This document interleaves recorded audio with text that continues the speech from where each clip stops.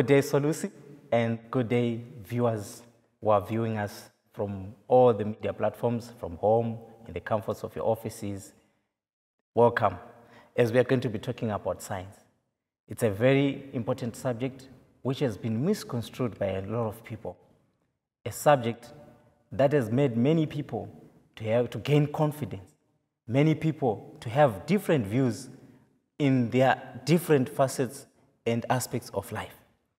Uh, but uh, allow us that before we talk about this subject, we just pray and uh, get into our subject. Let us bow our heads as we pray. Heavenly Father, I would like to thank you so much for giving us this wonderful aspect and opportunity to learn, expand our minds, to encourage us to develop our communities, ourselves, and in the biggest and most important way, for us to be developed in the salvific way. Father, we thank you as we're going to be learning. Be with us, give us that wisdom, and may you grant us that success. In Jesus' name we pray. Amen. Our very first verse, which comes from Proverbs chapter 1, verse 7, says, The fear of the Lord is the beginning of knowledge, but fools despise wisdom and instruction. So you'll understand that as we're going to be talking about this subject, there are two words that will continuously come, come up and pop up wisdom and knowledge. Now, by definition, what is science? Science is the intellectual and practical activity encompassing the systematic study of the structure and behavior of the physical and natural world through observation and experiment. Now, if you read this definition, there are two keywords that are coming out observation and experiment. For you to observe, there must be something that is observable. And for you to experiment, there must be certain conditions that are controllable for an experiment to be done. Now, it is important that we, we get to understand that there is the physical and the natural world. But whence cometh this physical and this natural world? That brings us to an important aspect of the origin of life or the origin of science. If we go to Genesis chapter 1, the entire chapter is talking about the origins of life, where the life comes from. And it is important that science on its own, it comes from scientia, which is Latin, which means it denotes knowledge. Now, the Bible says, the fear of the Lord is the beginning of knowledge. So, in everything that we do, be it study, be it observation, be it eh, experimentation, we need to acknowledge Him. And indeed, if we do so, He shall be able to direct our, way, our ways. Now, there is the beginning of the beginning, the beginning of the world. Where does the world come from? If we go to Genesis chapter 1, we find that God created. Genesis chapter 1, verse 1 says, God created the heavens and the earth. Now, God created. What did He create? He created habitats. That is the land. The land is the one that gives us the terrestrial environment and the terrestrial habitats. He created the water. That gives us the aquatic environment eh, or the aquatic environments. Now, he then goes on to create animals that were going to be inhabiting the same habitats that he had created in the same chapter. That is, we find now the creation of the animals, that terrestrial, and the, the creation of the animals which are aquatic. Now, it is very important to note that Genesis chapter 1, verse 20 to 22, and God said, Let the waters bring forth abundantly. Let the waters bring forth abundantly the moving creature that hath life, and fowl that may fly above the earth in the open firmament. And God created great worlds, and every living creature that moved, which the waters brought forth abundantly after their kind, and every winged fowl after his kind. So we find that the aquatic animals were created together with the birds. And it is very interesting that if you are to analyze or observe the flesh of aquatic animals and the flesh of birds. They are all termed white meat. And Paul, Paul observes this in 1 Corinthians chapter 15, verse 38 and 39. I'm paraphrasing it. He says that all flesh is not the same flesh. We have this, the flesh of beasts that we term our red meats, and then we have the, the flesh of fishes, of, of birds. And, and, and, and, and he goes on to demarcate how these flesh, fleshes are, are characterized. Now, it is also important to note that when God had created the habitats, He also provided the foods that these same animals were going to be feeding on. And that's when you find that he gave rise to the vegetation that is your woody species, that you find that we have the trees that give us fruits, we have the trees that uh, beautify the, the environment, and then we have non-woody species that, that is your, um, your herbs, your forbs, that, that beautify the environment. So the environment was beautiful by just looking at it the, the environment was filled with food because all trees, all plants brought fruits. And before the sinning of man, there were no thorns. Thorns and briars later on came as a result of the sinning of man. The very interesting thing that happens when God creates man, he says, It is not good for Adam to be alone. And when he had created Adam, Adam had three things that we can find in every human being he had the mind, he had the heart or the seat of emotions, and he had the physical body. And all these three, they need to be developed. Now, the very important thing that God then does, he tests to see if this human being has got the same mind as the mind of God, as his particular mind. What experiment did he do? The first test that God gave to Adam that is in line with the beginning of science that is based on observations of the structure and behavior of the physical of the, of the physical and natural animals as you saw them. Genesis chapter 2 verse 18 genesis chapter 2 verse 18 um, we read and the lord god said it is not good that the man should be alone. I will make him a helpmeet for him and out of the ground the Lord God formed every beast of the field, every fowl of the air, and brought them unto Adam to see what he would call them. Now, if you, you need to understand and read carefully these scriptures, God did not bring the animals for Adam to give names. God brought the animals to see what Adam would call them. In other words, God was testing the state of the mind God was testing if Adam would see and view things and observe in the same way he observed and saw them. Now, God creates Adam, and when he creates Adam, he says, It is not good that the man should be alone. Not because that God did not um, know that man had been created, he had designed him to be a social being. Not at all he does something that is very interesting. First of all, he brings the animals to, to, to existence. And if you read verse 18 says, And the Lord God said, It is not good that the man should be alone. I will make him a helpmeet for him.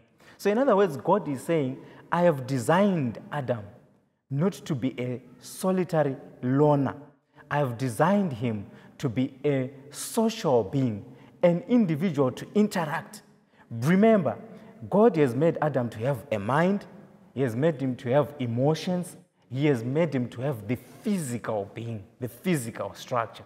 So, in other words, the emotions that God has designed in men, they seek to be expressed. Hence, God is now saying, it is not good for Adam to be alone. In other words, scientifically, by observation, it is not proper, it is not good for one to be alone. It is not proper or good for one to be a loner. True science uh, requires us to be able to interact, to be able to engage, to be able to communicate with others, with nature, with the God's creation, be it inanimate and animate. In other words, now God says, verse 19, out of the ground the Lord God formed every beast. In other words, He formed every wild animal that is terrestrial and brought them unto Adam to see what he would call them. So God is saying, I am going to bring these animals to Adam. I want to see if Adam sees things, views things, has got the same perception as I have. In other words, if God designed a zebra, he wants to see if Adam would tell that this is a zebra by merely observation.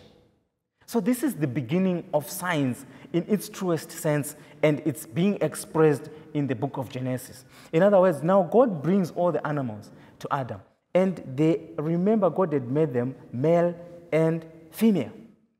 But the preceding verse said it is not good for Adam to be alone. So, God wants Adam to realize by observation, by study, the physical and natural world and the animals as they come before him that it is not good for him to be alone. He must be having a companion because each and every animal was coming with a companion, and both of them were male and female. In other words, he was also learning by observation that there must be a distinction between male and female.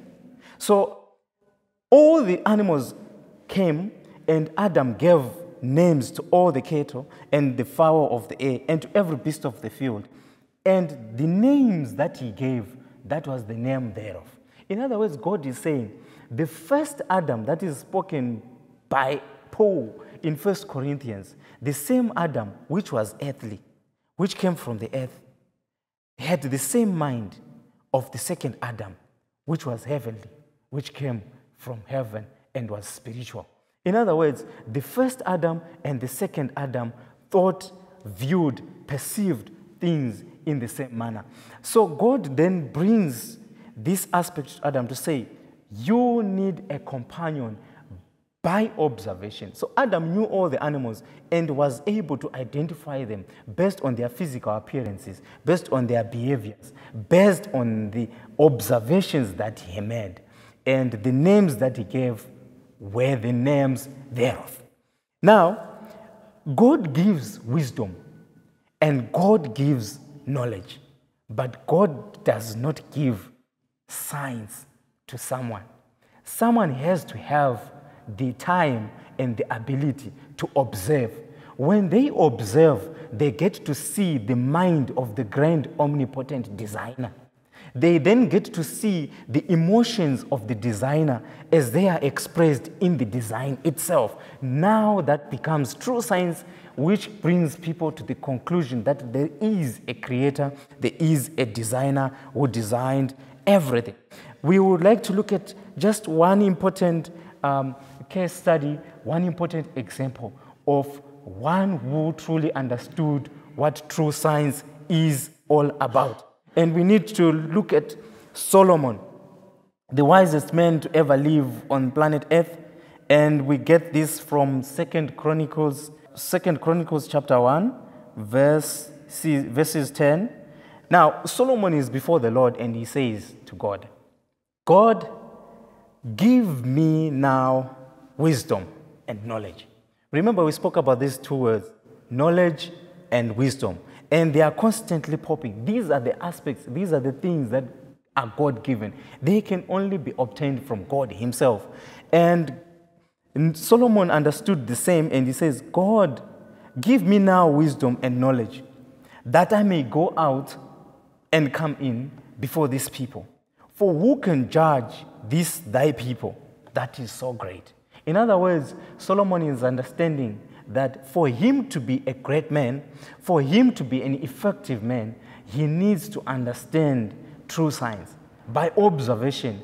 Observation of the natural world gives you lessons that you later on learn and apply in the real world of humanity. For instance, Solomon is the same who says, Go to the ants, you sluggard.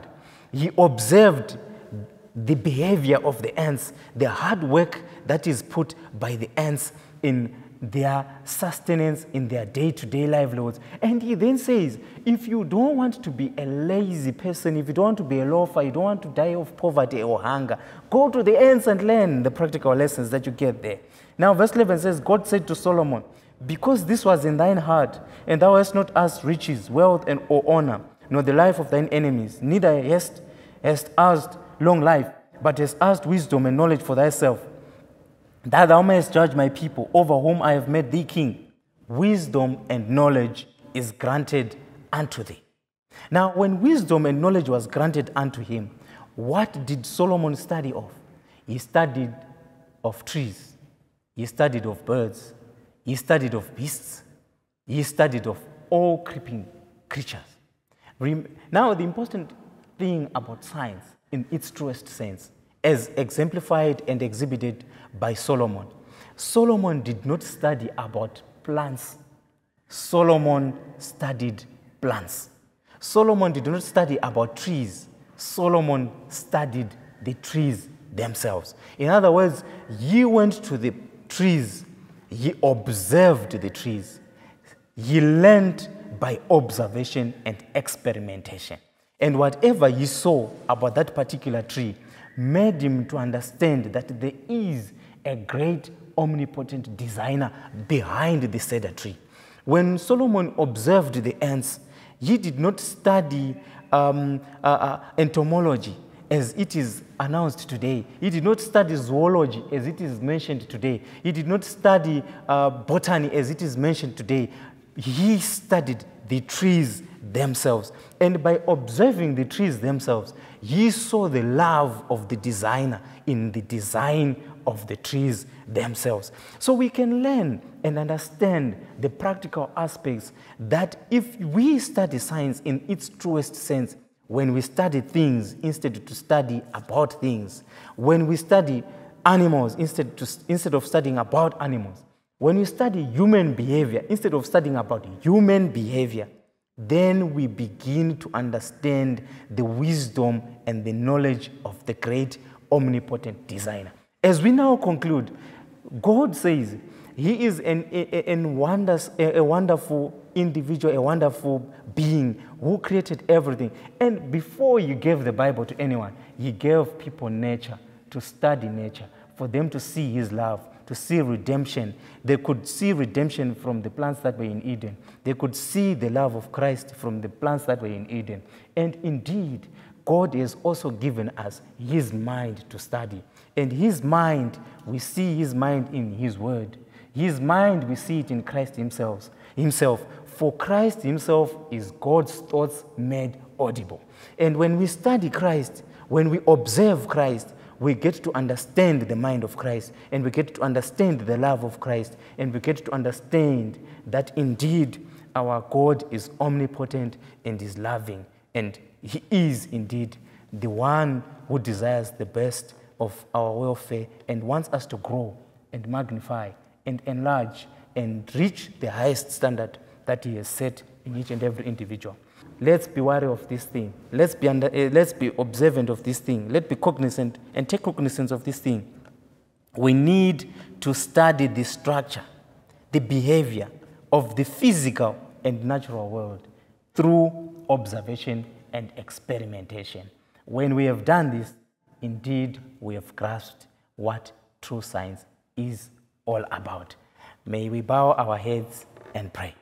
Heavenly Father, I would like to thank you for the time that you have given us to understand, to pick a few gems that are abundant beneath at the surface of your word, that we indeed understand what true science is all about, and that we understand that if we study science in its, in its truest, truest sense, we will indeed enlarge, become great as Solomon was. But above all, when we understand and study science as in its truest sense, will understand that there is a grand, omnipotent designer behind all the creatures, nature, and things that we observe. And indeed, will be drawn unto you. And indeed, our lives, our communities will be changed for the best. This we pray in Jesus' name. Amen.